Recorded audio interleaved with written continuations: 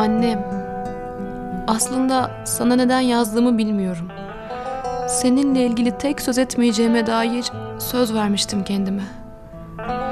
Bugün okulun ilk günü. Yıllarca hayalini kurduğum gün bugün.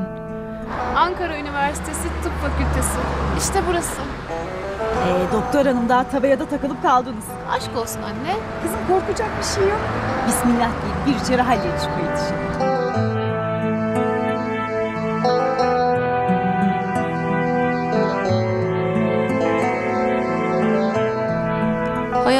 Hayalimizdeki böyle değildi ama o zaman bilmiyordum hayallerle yaşanmayacağını. Sana o kadar kırgın, o kadar kızgınım ki asla okuyamayacağını bildiğim bu satırlar belki beni biraz rahatlatır diye yazıyorum.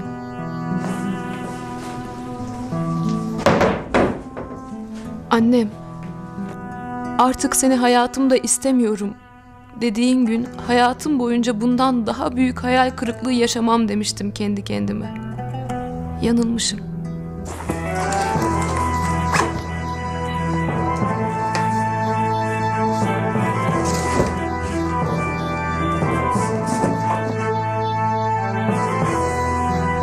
Senden sonra ilk kez birine güvenmeye başlamıştım.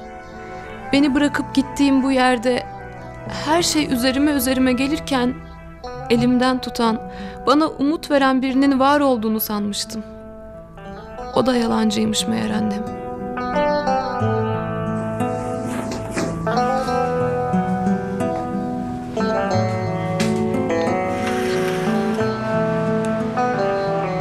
Meğer en çok ondan uzak durmam gerekiyormuş.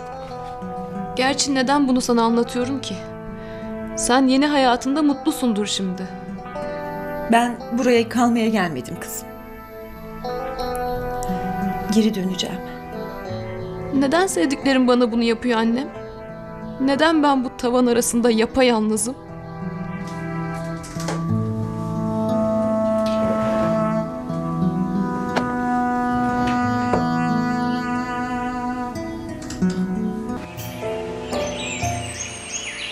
Aradığım hiçbir şeyi bulamıyorum bu evde. Delireceğim sonunda o olacak. Anne gelmiyor musun anaokuluna? İşim var dedim ya oğlum. Hacer Hanım götürecek seni. Nerede bu dosya? Var.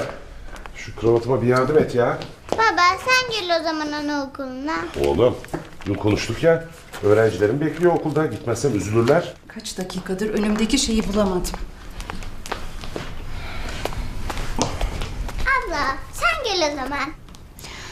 Bir o eksikti. Efe'cim ablanın da işi var. O da okula gidecek. Hadi bakalım mutfağa süt içmeye. Okula değil Hacer teyze, dershaneye. Özgür, bugün okulun ilk günü Deniz'i yalnız bırakma. Tamam mı çocuğum? Merak etme baba. İkbal'cim bitiremedim bir türlü. Gecikiyorum ya. Ya, telefon çalıyor. Yukarıda mı kalmış?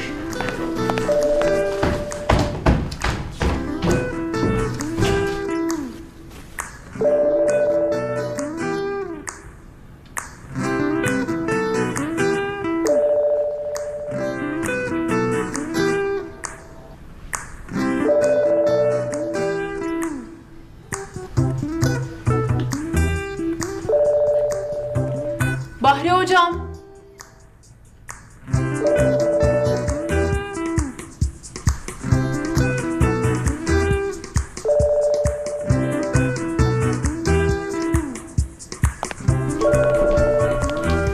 Deniz, Telefonunuz Bahri hocam. sağ ol.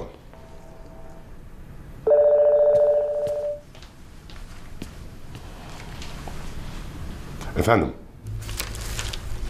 Bize çabuk olun der kendi ortadan kaybolur. Bahri! Hah, bir sen eksiktin. Günaydın. Günaydın kızım. Günaydın Deniz. Optimus yukarıda kaldı Acişko. Kim yukarıda kaldı paşa? Oyuncağı yukarıda kaldı Hacer teyze, onu söylüyor. Ee, Efe'cim oyuncakla okula gidildiği nerede görülmüş? Ee, almazlar sonra seni anaokuluna. Ya Optimus gelmezse ben de gelmem. Anne Optimus'u da alalım mı? Hacer Hanım çıkıp yukarıdan alıverin. Zaten geç kaldık. Olur.